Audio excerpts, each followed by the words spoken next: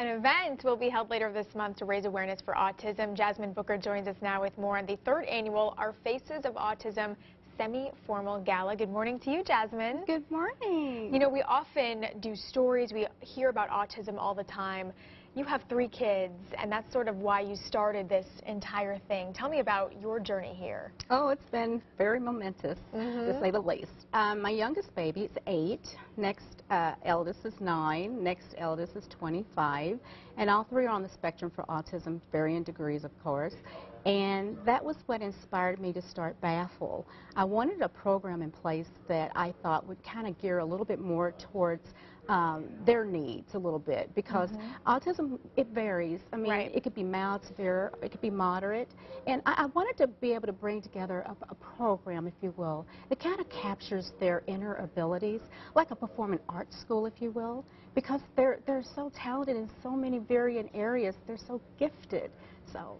Right, and this event, Faces of Autism, there are so many faces mm -hmm. of autism. It could be mild, it could be severe. So tell me about um, what the proceeds of this event, what that will go to, what it will help. Yes, ma'am. We're blessed. We're wanting to take and expand what we already have taking place over in Jeffersonville, Indiana. We have an autism support group. So uh, one of the things that we wanted to concentrate on was putting a charter school over there mm -hmm. that'll be able to capture the hearts of the spirit of Indiana, as well as our residents over here in Louisville, Kentucky as well. Uh, it'll be for ages 6 through 15. So that's what this big fundraiser is mm -hmm. all mm-hmm. about, to get those funds in place so we can make that happen. All right, let's talk about the fundraiser. What are the details? Who can go? How do they buy tickets? Who's going to be there? What will they do? Oh, yes, ma'am. It's going to be at Kai's 2 in Jeffersonville, Indiana on August the 23rd from 7 to 11. Uh, we have a very uh, prestigious young lady that's coming in town with her husband that are our ambassadors, the Grants uh, Trisha Mann Grant and uh, actor Tony Grant, who plays on Love Thy Neighbor on Tyler Perry's mm -hmm. uh, mm-hmm. studios there.